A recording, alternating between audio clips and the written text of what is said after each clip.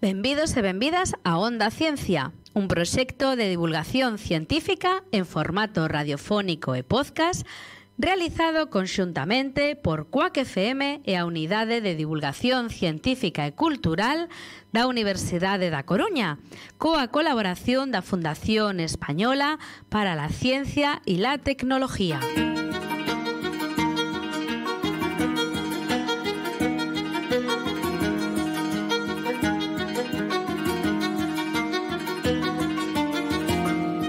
segundo episodio de Onda Ciencia imos falar de videoxogos, un tema de candente actualidade onde abordaremos a industria dos videoxogos, tamén o entretemento e tamén os valores e os principios que se transmiten a través desta grande industria pola que está apostando a UDC. Contamos para elo coa participación de catro persoas expertas da Universidade da Coruña, investigadoras, profesoras da UDC, os que paso a presentar en primeiro lugar Mariluz Castro Pena, doutora en informática, coordinadora do Máster de Deseño, Desenvolvemento e Comercialización de Videoxogos e recibiu tamén o primeiro premio Ada Byron do CPIG. Moi boa tarde, muy buenos días, Mariluz. Hola, buenas tardes, buenos días. Boa noite tamén, casi. Boa noite. Bueno, tamén temos connosco a Luis Antonio Hernández Ibáñez, eh, decano da Facultade de Ciencias da Comunicación, docente no grao de Creación Digital, Animación e Videoxogos. As súas liñas de investigación céntranse na realidade virtual e nos entornos inmersivos. Moi boas tardes, moi bons días, Luis Antonio. Hola, boas tardes. Un placer estar con vosotros. Tamén nos acompaña Patricia Comesaña, que é profesora axudante doutora en Ciencias da Comunicación, a mesma a mesma facultade que Luís, é profesora de Estrategias de Comunicación Multimedia no grau de Comunicación Audiovisual. Moi boas tardes, moi bons días. Que tal? Un placer estar por aquí. E por último, pero non menos importante, temos a Alba Patricia Digón, que é profesora de Ciencias da Educación na área de Pedagogía Didáctica. As súas liñas de investigación son Educación Mediática a Educación para Ciudadanía Global. Moi boas, Alba. Moi boas tardes.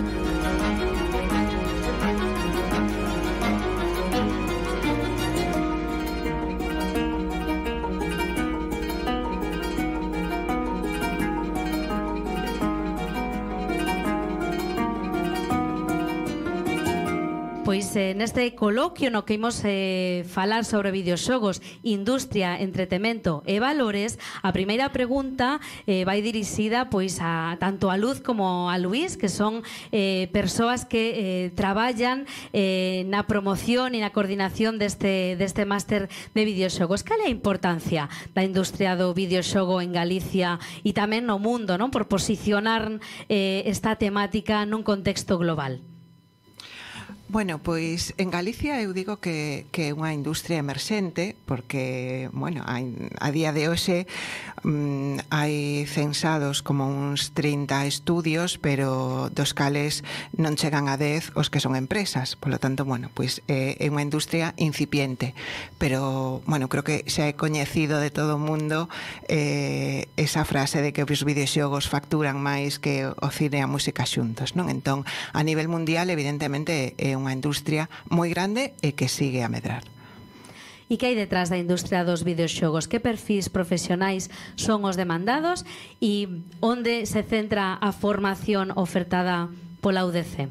Bueno, Luis. La industria de los videojuegos, aunque um, mucha gente la considera como una forma de, de, de, industria derivada de la informática, por ejemplo, va mucho más allá. La industria de los videojuegos es una industria de los contenidos, ante todo es una industria que lo que hace es generar productos audiovisuales de consumo. Por tanto, ¿quién está detrás? Por una parte, aquellos que generan esos contenidos, que en este caso además componen un plantel muy pluridisciplinar de gente. Detrás de la industria de los videojuegos hay perfiles artísticos, porque el videojuego es una forma de arte al fin y al cabo. Hay perfiles eh, del ámbito de la narrativa, porque básicamente se trata de contar historias. ¿no? Hay perfiles, por supuesto, técnicos, porque obviamente esto es un producto también software, y hay perfiles también del ámbito empresarial, porque estamos hablando de un producto de consumo que debe venderse. ¿no? Entonces, cuando me preguntas eh, qué perfiles profesionales son los más demandados, de alguna manera te lo acabo de decir. Serían esos, esos cuatro perfiles principalmente. Dentro de esos cuatro, posiblemente los más demandados sean los que corresponden a la parte más técnica o técnico-artística. ¿no? uh, por una parte, la gente que, se hace, que hace la programación como tal, por lo menos es lo que cuentan los estudios que hacen las diferentes asociaciones, y luego la parte también que tiene que ver con el, con el arte, pero con el arte bajo un punto de vista técnico, es decir, el arte eh, generado mediante ordenador, modeladores 3D, animadores, etcétera. Eh, sin descuidar también eh, otros aspectos que han emergido de manera más novedosa en estos ámbitos, como el diseño de usabilidad, el diseño de experiencia y demás. ¿no? Eso é un pouco máis demandado. Bueno, ao final é unha industria, unha industria de entretemento e ademais eh, basada na creatividade, non? Eh, igual que o cinema, o que facía referencia a luz, eh, triunfa sempre cando presentes produtos que se san atractivos, visualmente atractivos e ademais con historias que enganchen. Cales son as claves para facer un videoxogo atractivo e exitoso e que sexa pois un fenómeno de masas como como algúns que incluso logo pois pasan a grande pantalla, non? Como pode ser de Lost of Us, pero tamén hai outros eh, videoxogos que, que chaman moito a nosa atención. Bueno, eu creo que esa é a pregunta do millón, non? Como facer un, un produto de, de éxito.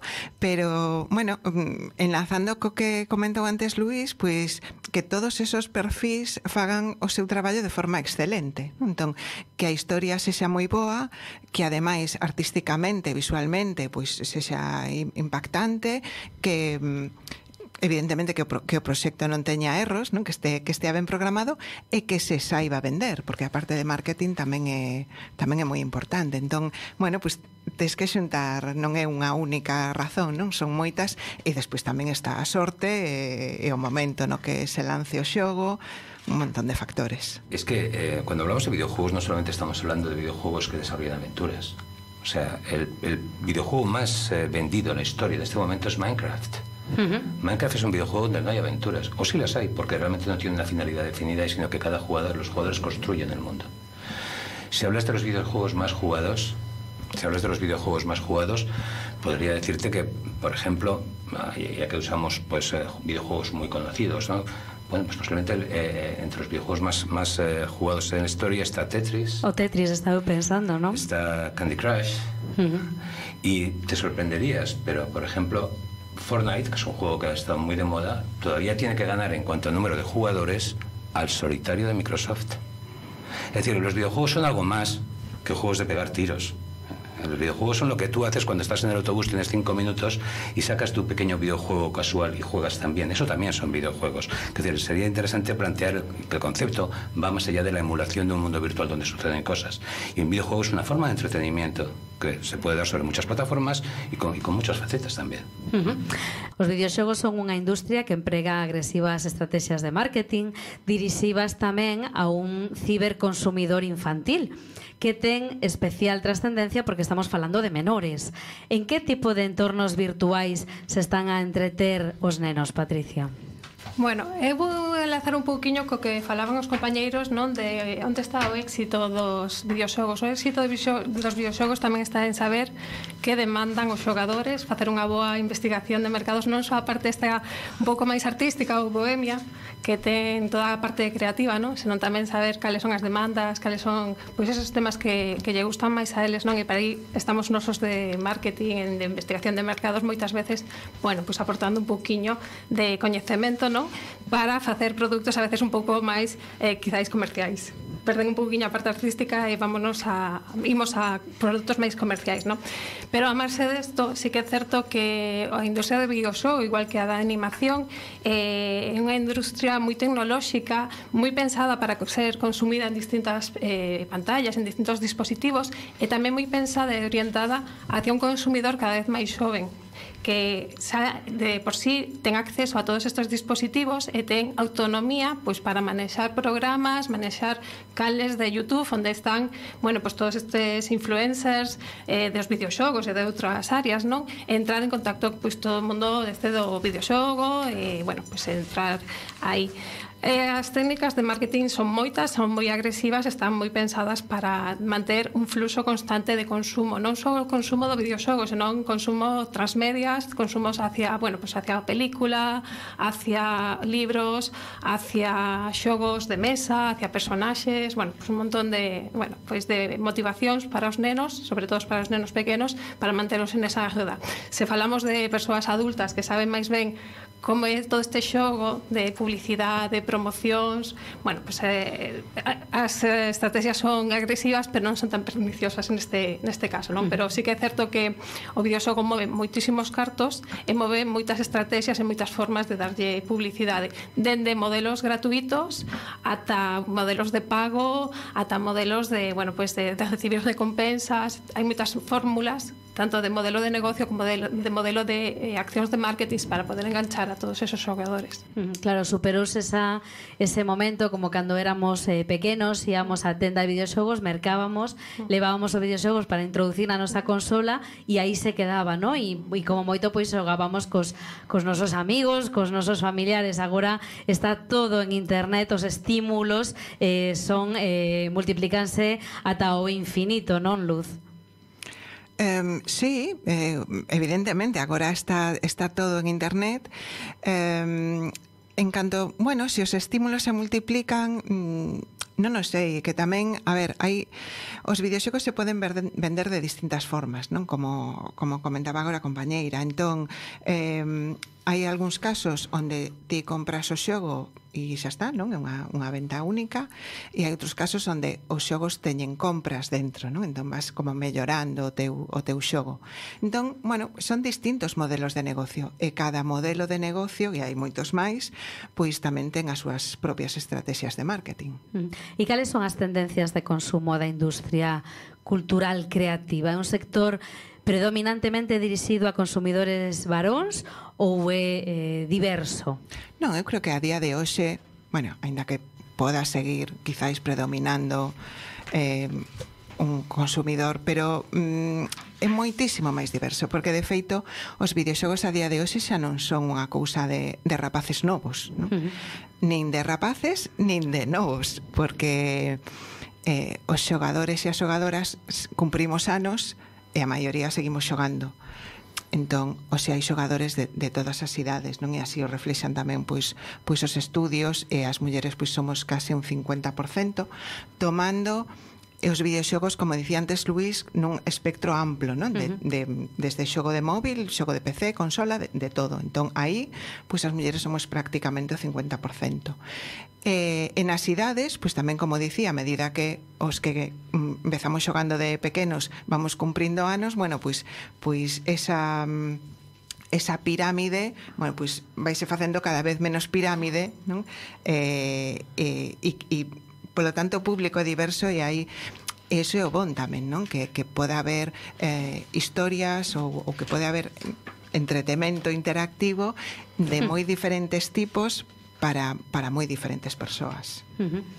eh, nos en marketing temos un concepto que se chama Adult Kids, onde eh, o perfil do adulto bueno, pues de 30 a 50 anos cambiou un pouco e xa non temos o medo a xogar a videoxogos como ao mellor tiñan os nosos pais que bueno, xa non xogaban porque non tiñan tanto contacto non? pero sí que é certo que nese período de madurez non perdemos eses coñecementos dos xogos e dos videoxogos que tiñamos de, de nenos e seguimos arrastrándonos es, non perdemos esa parte infantil por así decirlo, uh -huh. dos, dos videoxogos e non temos medo a expresar toda esa actividade eh, en torno aos videoxogos e así.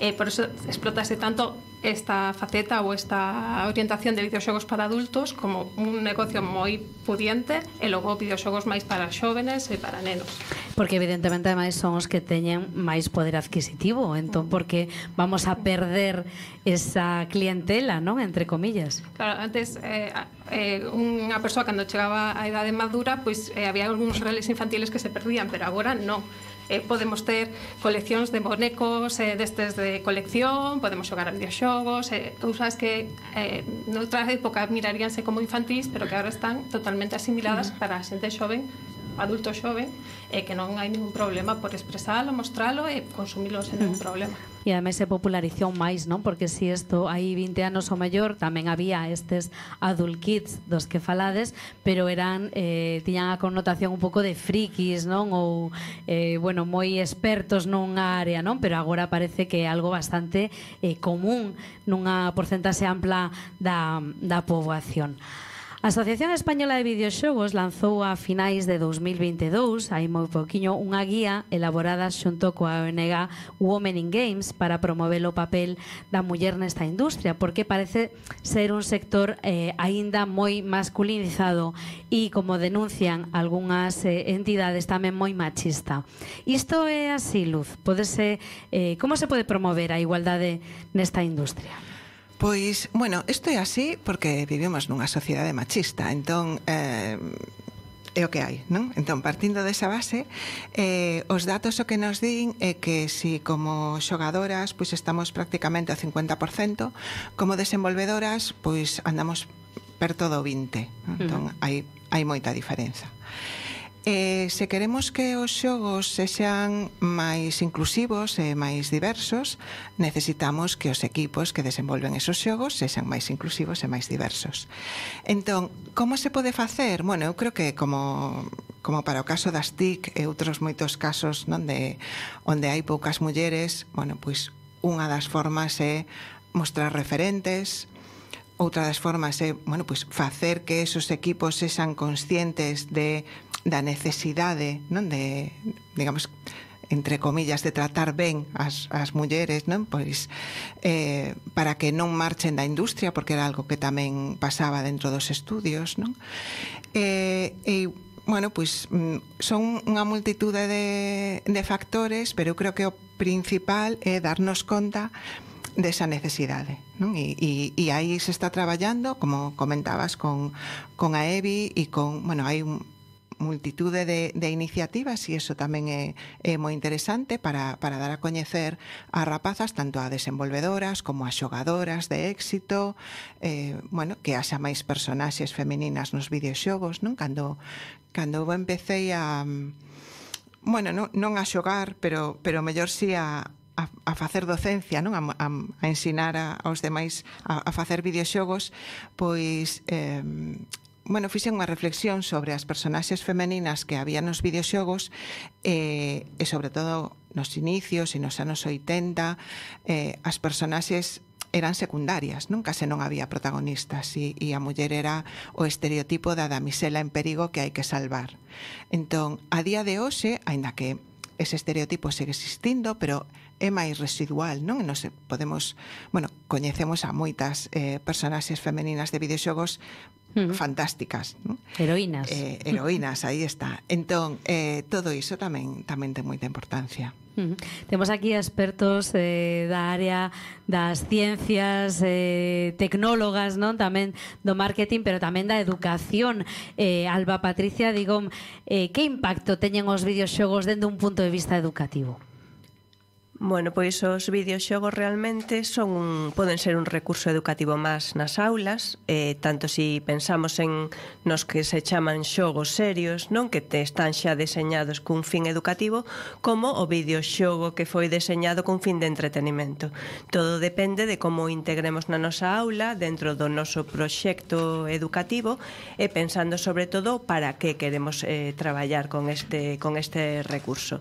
Dende logo a escola ten un papel moi importante a hora de ofrecer alternativas a ese mercado que o mellor sí que populariza determinados videoxogos que dende o punto de vista educativo pois non son eh, tan bons, non? Entón a escola debe ofrecer alternativas eh, de videoxogos que quizáis axuden a desenvolver pois as competencias necesarias para a, unha participación crítica, activa e creativa eh, na nosa sociedade digital. Mm.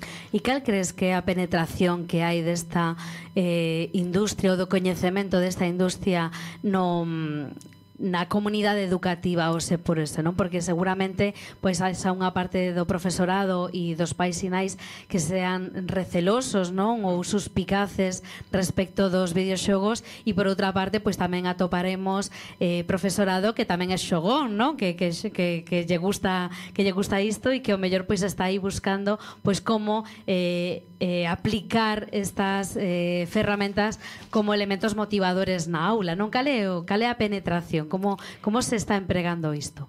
Bueno, sabemos que agora está moi de moda a metodoloxía da gamificación Agora parece, pois, pues, eso, que se gamifica todo Entón que hai que estar eh, dando insignias, creando retos de forma constante A veces de forma tamén moi banal Eh, eso é diferente, eso sí que está moi de moda eh, na, na escola, pero sí que é certo que se si fagas do videoxogo en sí, pois sí que pode haber unhos, eh, unhos enfoques pois máis tecnofóbicos e máis vacunadores, non? Que teñen sempre en mente a idea do videoxogo violento, a, idea, a idea do videoxogo sexista que se estaba falando, e mm, pois mm, quizá o profesorado tamén mm, necesita máis formación ou pide máis formación para saber como integrar realmente de forma adecuada estos eh, recursos na súa aula. Luis, como experto e tamén como xogador de videoxogos, Por que son eh, os videoxogos dos que estamos a falar estes que, bueno, pois eh, teñen uns contidos máis violentos ou posiblemente uns contidos eh, máis eh, de transmisión de estereotipos ou, ou sexistas? Eh, por que, por que eh, son tan exitosos? A mí es que me parece que la pregunta tiene un juicio de valor incluido. Uh -huh. Es decir, los juegos no son exitosos por ser machistas o por ser violentos Primero, los juegos más exitosos no son esos. Y perdóname que os lo diga, pero es así. Es que los juegos más violentos son juegos mucho más comunes. Desde Minecraft a cualquier otro.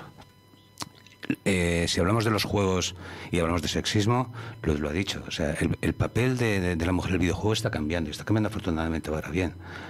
Has dicho el ejemplo antes de The Last of Us. The Last of Us es un videojuego con todos los protagonistas femeninos. Los que los hemos jugado, yo he jugado uh -huh. las dos de The Last of Us, por supuesto, eh, me he divertido muchísimo utilizando mi protagonista femenina. Eh, videojuegos, pues hasta violentos, como comentas. Assassin's Creed, una de las sagas más violentas que hay. Puedes elegir protagonista masculino o femenino. Yo he jugado algunas de las historias de la saga con protagonista masculino y otras con protagonista femenino. Entonces, ¿por qué tienen más éxito? No es por ser violentos, los éxitos, los juegos tienen éxito, los de acción y aventuras, porque pro, promueven que el espectador pueda vivir una aventura en primera persona.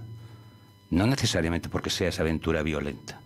De hecho, muchas aventuras ni siquiera lo son. Hay uno de los juegos más conocidos y más exitosos del año pasado, God of War.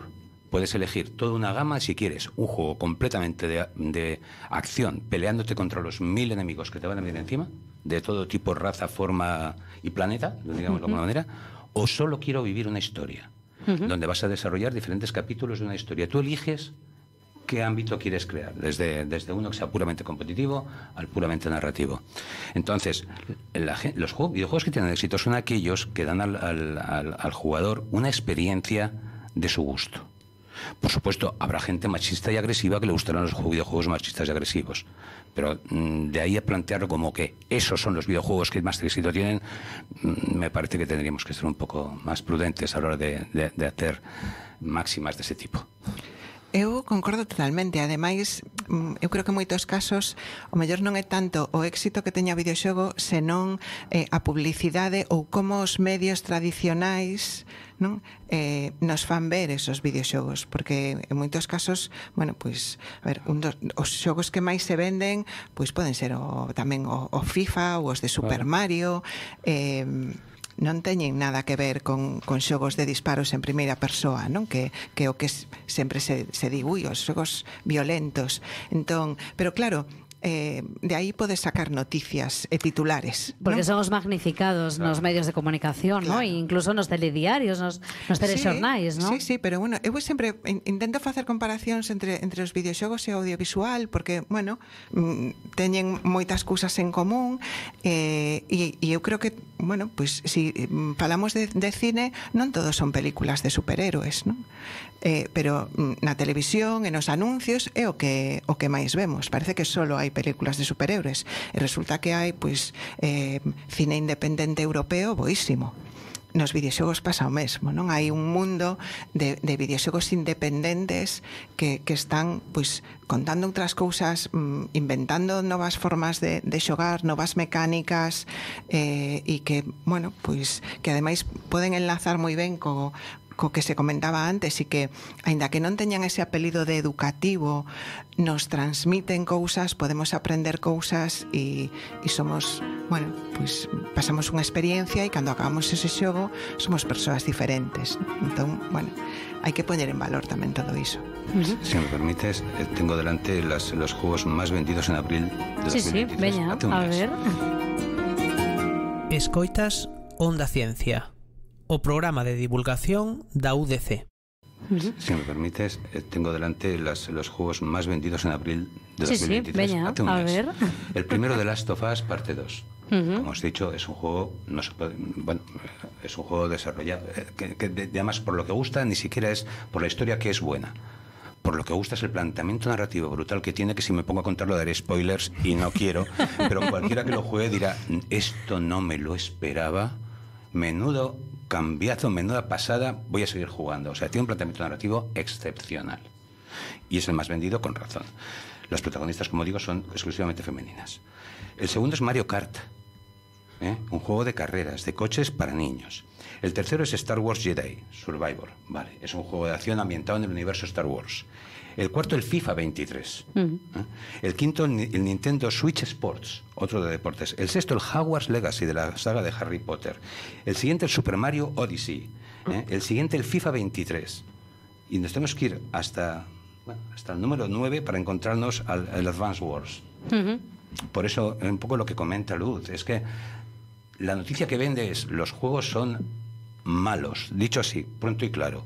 Yo ya estuve en el año 2001 en Televisión de Galicia en un debate parecido a este, defendiendo los videojuegos frente a siete personas que los atacaban como si fuera el diablo. Y cuando se me ocurrió decir que lo que venía eran los videojuegos e Internet, ya directamente me saltaron todos al cuello. Porque si era el diablo, el otro era un diablo y el, el otro diablo, ¿no? Entonces, serenémonos. Bueno, non é, non, é un, non é un debate parecido a este porque neste non estamos atacando porque, os videoxogos. Han pasado 20 años. Afortunadamente han pasado 20 años, pero los videojuegos reflejan el mundo y reflejan la, la personalidad misma de las personas. A la gente le gusta lo que le gustaba en el cine, lo que antes le gustaba en la novela y lo que ha gustado desde, desde, que jugábamos de niños. Los videojuegos son una herramienta para desarrollar la fantasía, la imaginación, la sociabilidad. El, el juego mismo es un acto social. Entonces, los videojuegos reflejan la sociedad. A medida que la sociedad cambia, los videojuegos también. Pero no les echemos la culpa de nada e intentemos no, no demonizarlos si fuera posible. Uh -huh. E que tipo de videoxogos imos falar outra vez, imos a volver outra vez a UDC. Que tipo de videoxogos está a desenvolver o alumnado e os novos profesionais graduados pola, pola UDC nos, eh, bueno, pues no grado ou no máster nos que mos, eh, vos estades dando docencia? Bueno, pois no, no máster eh, se desenvolven cada ano dous ou tres proxectos que son os, os traballos de fin de máster e que se realizan en grupo e aí hai, hai de todo, a verdade que temos eh, pois xogos de aventura a ver, a, se fa, fanse sedemos, non fan os, os xogos completos, non? Pero temos xogos de aventura, 3D, 2D, temos eh, xogos de saltar, máis de habilidade, eh, aventuras gráficas, con animais, con, bueno, mm, moi variado. Eso a min é o que me parece moi interesante que os proxectos que, que aparecen cada ano pois son diferentes aos do ano anterior e diferentes entre sí. Si E despois, o que si sí é certo, eh, unha das cousas así máis en común que estou vendo nos, polo menos nos últimos dous anos, é que a maioría dos xogos teñen conciencia ecolóxica eh, uh -huh. e algo que me parece moi interesante. Eso quere dicir que algo que eles xa, xa teñen, non? E Incorporados, que, sí. Eh, teñen uh -huh. incorporado e o queren transmitir nos xogos que crean, non? Igual que tamén tivemos moitas protagonistas femeninas nesos xogos, non? Bueno, pois son eh, proxectos mm, moi interesantes. Uh -huh. También yo incluiría que también está empezando a desarrollarse videojuegos sobre plataformas más interesantes como cascos de realidad virtual, etcétera, ¿no? uh -huh. que tamén están aprovechando a tecnología emergente. Patricia, falabas antes da gamificación, non? Parece que agora as metodoloxías activas de ensinanza, de ensino aprendizaxe eh, deñen, teñen que pasar por aí. Iso tamén eh, pode ser unha trampa, non? Que parece que eh, todo o que eh, nos queren eh, vender eh, é eh, gamificación dentro da, dentro da aula, non? Ti como ves isto? é que curiosamente eh, moita desta gamificación se gamifica para que aprendan contenido conceptual para que memoricen contenido conceptual. Polo tanto, o para qué, o fin que buscamos, é totalmente equivocado. Eh, hai outras metodoloxías activas que levan moitísimo máis tempo como el, el traballo por proxectos que é totalmente diferente uh -huh. eh, o para que é distinto Entón, eh, penso que moitas delas son cuestionables. No, e tamén é parte do mercado. Aprendizaxe servizo, por exemplo, que agora se está incorporando tamén nas, nas carreiras da, das, nas diferentes carreiras da, da universidade, non?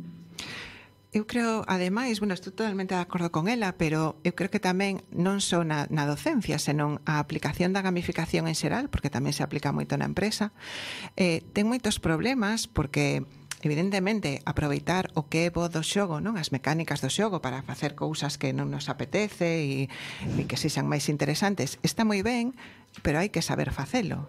E quedarnos en dar medallas e puntos e facer clasificacións, pois eso mm, nin é interesante, nin prácticamente non é gamificar. Non? Uh -huh.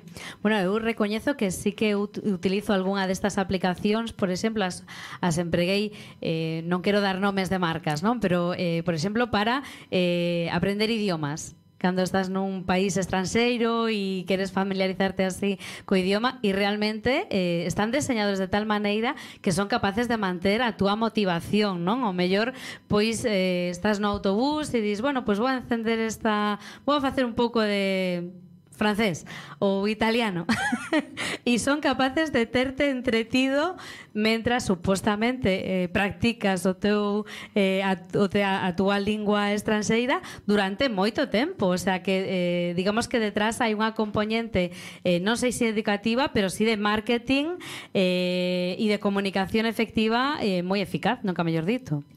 Sí, porque a secuenciación de niveis, por exemplo, evidentemente, pois está é, é importante, tamén eh, a, manteñen a túa atención a través da, da motivación e sí que é certo que é aproveitable moitos deso, destos aspectos. Pero o que sempre é fundamental en educación é para que eu estou usando este recurso, cal é o meu fin educativo. Bueno, sí. voulle poñer unha pequena pega porque tamén son profesora de Eh, a veces o problema que temos coa gamificación, sobre todo nas idades máis infantís, é que os nenos, en vez de estar no aprendizaxe, eh, buscan a recompensa quedanse só coas de compensa eh, visionando esa gamificación como se estuvieran realmente nun videoxogo ou nun xogo. E eh, perden o foco do aprendizaxe e se non hai recompensa sí, sí, a, longo, sí. a longo plazo pois xa non hai interés pois no aprendizaxe que é un problema que moitas veces nos, nos atopamos nas aulas de nenos máis pequenos. Sí, sí, é unha motivación extrínseca, nunca intrínseca. Claro, moitas veces os adultos pois a motivación e a aprendizaxe en sí eh, a gamificación é un recurso moi bo pero a veces cando estamos en ciclos máis eh, máis baixos, eh, a recompensa é moito máis motivante que o aprendizaxe, se non é recompensa De feito, hai estudios eh, onde puxeron a dibuxar a nenos eh, grupo con recompensa, grupo sen recompensa. E eh, no longo do tempo, o grupo con recompensa deixou de ter motivación, o que quería era ese premio, e, sen embargo, o grupo que non tiña recompensa seguía dibuxando pola, por o placer de dibuxar e todo isto. Sí, sí. Totalmente de acordo, Patricia. Bueno, aí están todos os estudios neurolóxicos tamén, non? Que eh, non é que non recomenden o emprego dos dispositivos móviles, etcétera, pero sí que eh, recomendan precaución ante determinada estimulación externa, non? En, en idades eh, de menores, moi menores, vamos, de 3, 4, 5, 6, e que, sin embargo, pois sí que se estén, se ven sometidos, e creo que todos o vemos na rúa, non? Se ven sometidos a estímulos, por exemplo, a través non de videoxogos seguramente, pero si a través do móvil, non? E ademais eh, todas estas ferramentas son moi intuitivas e é sorprendente como un neno ou unha nena de tres anos pois é casi capaz de empregar e chegar ás mesmas aplicacións que podemos nós con moitos máis anos, claro. Está todo eh, moi pensado e moi deseñado para que sexa sinxelo, atractivo, estimulante e que nos enganche dende idades moi moi novas, non? Como última pregunta que vos eh, queríamos introducir, e isto é unha pregunta para todos os nosos eh, convidados a este programa, e que que exemplos coñecedes de videoxogos eh, coñecidos, comerciais ou non comerciais, eh, pero que transmitan valores positivos, que teñan unha componente pois pedagóxica ou de trentemento, pero que sí que transmitan valores eh, positivos, non? que eh, nos recomendaríades eh, a nós, os que que estamos na mesa e tamén pois eh, toda a nosa audiencia, non? Para eh, pois tamén amosar esa eh, parte máis constructiva. Eh, comentaba antes Luz e, e me gustou moito a túa expresión, non? Que despois de rematar un xogo, pois ao mellor somos mellores persoas, non? Porque ten unha certa capacidade de transformación nos nosos valores, nas nosas emocións. Pois cales serían os, os vosos exemplos? Con que les, con que videoxogos desfruchaxedes máis, pero que ademais recomendaríades por ese eh, por esa componente eh, pedagógica o positiva. Bueno, aquí hay mucho que decir, depende de que no sé si Sí, sí, Luis. Y depende de qué de qué faceta quieras potenciar digamos, y también para qué edad quieres, quieres plantearlo. A mí, juegos que me han encantado y me han parecido maravillosos para los niños sería, por ejemplo, Little Big Planet, uh -huh. donde además se, se, eh, se fomenta la cooperación entre los diferentes jugadores para conseguir resolver el problema mediante la cooperación. Pero en general todos los videojuegos tienen facetas magníficas de formación a las personas. Los videojuegos ayudan a, a, ver el valor de la perseverancia para conseguir un fin. ¿eh? ayudan el valor, a, entender el concepto de valor de, trabajo en equipo cuando se, cuando se trabaja entre varios, a, a, no rendirse ante cuando una cosa no te sale, a manejar la frustración. Tiene muchísimas ventajas psicológicas de las que nunca se habla y que son importantes. Y luego, si hablamos ya, ya no de niños, porque la educación es para toda la vida. Si hablamos de adultos, pues yo posiblemente los juegos más maravillosos que, que he jugado ha sido toda la saga que, que, fabrica Ubisoft de Assassin's Creed. O sea, cuando juegas el, el, la, el, el capítulo que se desarrolla en la Grecia antigua, uh -huh pues resuelves, o en Florencia, el, resuelves o... el laberinto del Minotauro, conoces toda la mitología que hay, navegas por todo el Egeo, conoces toda la geografía, todas las costumbres, hablas, debates con Sócrates. Para un adulto, eso es toda una experiencia. Entonces, son cosas que no es, que el videojuego esté hecho para eso, pero el videojuego te lo da. Cuando en el juego navegan por el Egeo, las canciones que cantan los remeros están cantadas en griego homérico antiguo. Puedes buscar en internet las letras y las traducciones y los orígenes de los poemas.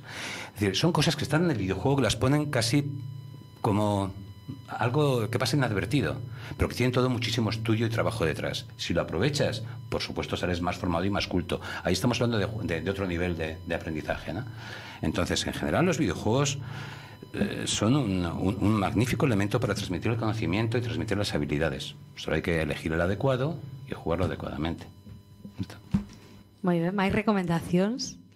Eh, bueno, eu podo facer unhas, unhas cantas porque son os meus eh, tipos de xogos favoritos non os que comentábamos antes e os que tamén son chamados como xogos persuasivos que non é que sexan educativos pero que sí que pretenden bueno, que abras os ollos ante algunha situación non?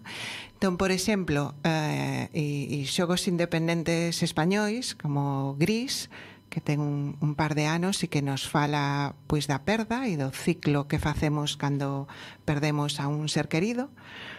E ademais é un videoxogo pintado a man preciosísimo de Nómada Studios ou eh, xa máis para nenos Alba, unha aventura mediterránea sobre tamén fala de, de ecoloxía e bueno, de, de sostenibilidade mm, É que, en serio, hai, hai moitísimos. Si queres, bueno, que contesten elas e eu sigo, sigo pensando algún máis.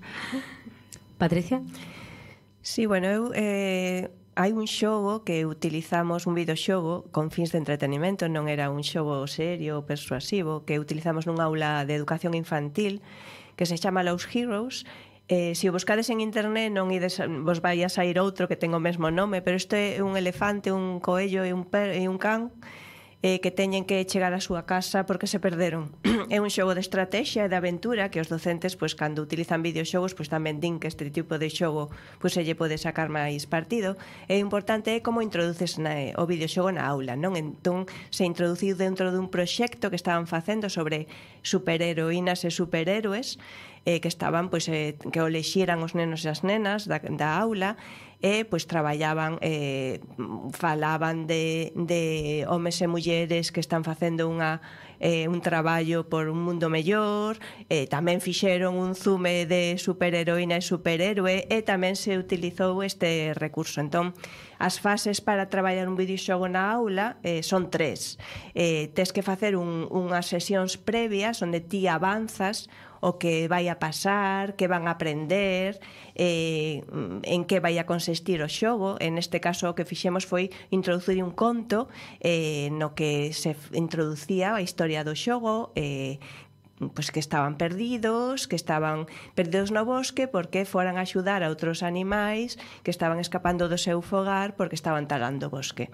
Entón, eh, esa foi unha fase previa. Despois está o momento do xogo, e o momento do xogo pois pode ser cooperativo, entón, eh, aínda que iba aparecen, bueno, saindo a xogar un neno, unha nena, pois todos iban axudándolle, reflexionando a ver que hai que facer, porque si que facemos si, si, si que pasa se si facemos isto, que decisión temos que tomar aquí, e despois unha sesión, unha vez unha fase final, onde os nenos e nenas reflexionan sobre o que aprenderon e o poden reflexar, pois, por exemplo, nun debuxo ou contando eles algo ou incluso creando a súa propia historia para un videoxogo que, que podan facer, por exemplo, con Scratch.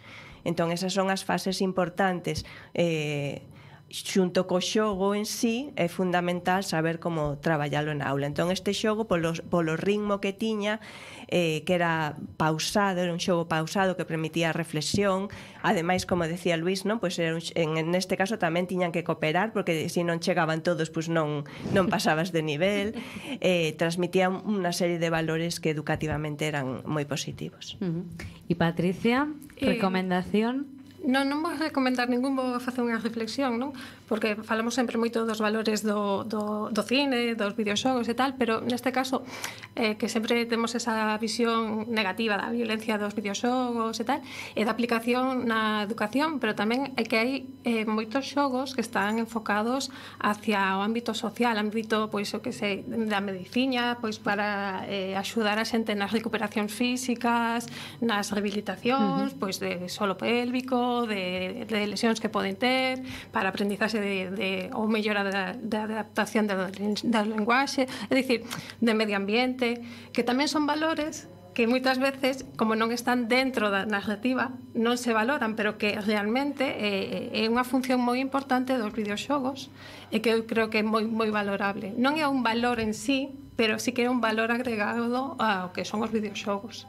Entón, sí que quería facer esa reflexión porque eles coñecen moito máis do mundo do videoxogo porque están dentro dele e son máis da parte de marketing e así, pero que os videoxogos non simplemente son esas, eh, bueno, pues esas, ese xogo para xogar, esa ferramenta que temos os de marketing para meter publicidade, patrocinios, estas cousas, senón que tamén son ferramentas moi boas para axudar noutros ámbitos como, o decía, a saúde, a psicología, a educación e outros ámbitos que, que son moi, moi, moi beneficiosos. Uh -huh. Patri. É que sí, o fío de o que di Patricia e como falabas ti, Isabel, do, do abuso das pantallas que agora pues, xa empeza dende edades moi dende pequeniños xa están consumindo este tipo de produtos, pois é curioso que si un, un mal uso das pantallas pois, mm, está demostrado xa que pode eh, que producir determinado de trastornos eh, no desarrollo da linguaxe, eh, de déficit de atención, Pero curiosamente tamén hai videoxogos que están deseñados para mellorar a atención e para traballar con nenos e nenas que teñen TDAH, por exemplo. Entón, son xogos que no seu deseño, pois por exemplo, a personaxe se cansa, entón mm, evitan esa adición que poden tener outros videoxogos e bueno, xa teñen unhas narrativas que permiten favorecer favorecer pois eso a, a atención. Entón, é curioso, vemos que é eh, un yin e yang, non? Uh -huh agora que está tan de moda, bueno, moda, moda negativa, claro, tan de actualidade todo o tema este do bullying e todo iso, a cantidad de videoxogos que están fomentando eh, bueno, pues esas actitudes máis positivas de colaboración e de evitar todo o tema do acoso nas escolas e todo iso con ese enfoque máis de valores pois pues esos máis sociais e máis de apoio e de evitar todo o tema do acoso nas escolas non? entón, eh, non é que haxa eh, xogos con máis valores, senón que nós podemos lle poñer o valor ao, o videoxogo para facer unha función social. Eh, eu creo que nas escuelas, de, nas facultades, eh, transmítese moito esa parte ética hacia, hacia traballo e a creación de videoxogos.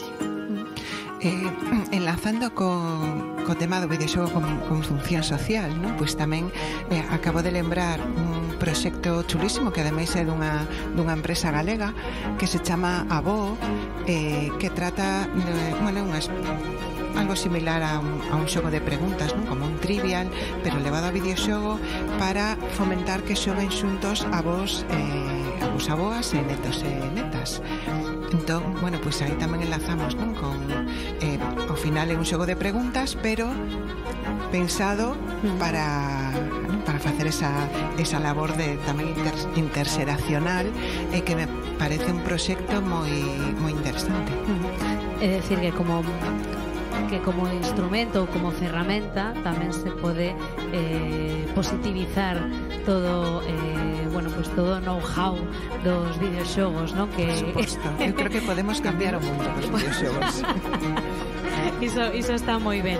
Bueno, eu quedome coa conclusión eh, de que realmente non se trata de eh, positivar ou demonizar os videoxogos, sino que eh, clave está na, na racionalidade, na responsabilidade con que o consumimos ou que con que bueno, pois se emprega e se pon a disposición da, da sociedade en, en todo caso. Moitísimas grazas a todos pola vosa participación neste coloquio. Moitísimas grazas a María Luz Castro Pena, moitísimas grazas a Luis Antonio Hernández Ibáñez, Patricia Comesaña Comesaña e tamén eh, moitas grazas a Alba Patricia Digón eh, e a verdade é que considero que quedou un programa moi eh, educativo que era eh, o fin que tiñamos eh, que tiñamos eh, para preparar e para, con, para convidarmos a este Onda Ciencia. Rematamos aquí este segundo episodio de Onda Ciencia. Lembra que podes escoitar todos os episodios deste programa na sintonía de Quack FM no 103.4 da FM Coruñesa e dende parte do mundo descargando os podcasts a través da web quackfm.org e das aplicacións móviles para Android e Apple. Ata sempre.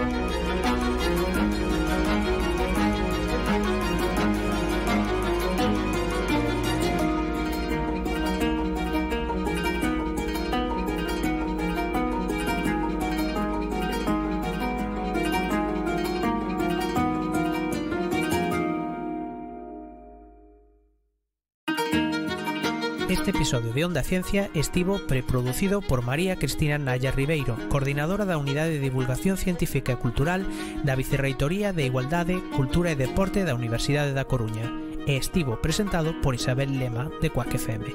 Ao control técnico estivo Mariano Fernández Cabarcos. A produción é de Isabel Lema, Chusa Veledo, Miguel Anxio Facal, Chema Casanova, Mariano Fernández Cabarcos e Roberto Catoira.